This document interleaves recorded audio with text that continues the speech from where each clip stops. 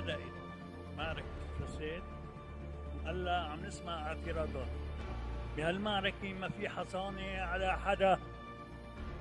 لازم يعرف الجميع.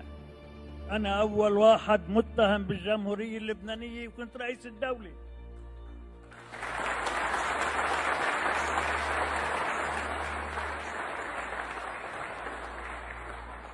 15 سنة. ما راح رئيس جمهورية على الخارج وبالداخل ولا راح رئيس حكومة على الخارج وبالداخل. وين ما كان سئل عني إلا قالوا عندي ملف مالي.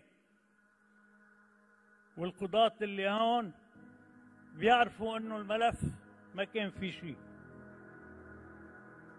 كنت بريء ما توسطت حدا حتى ياخذ براءتي. ولا حكيت مع حدا.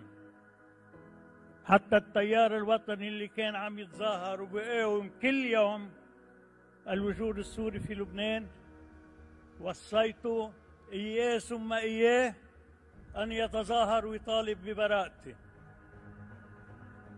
بعدين وقت اللي جيت لهون ورجعت أخذت براءتي من القضاء.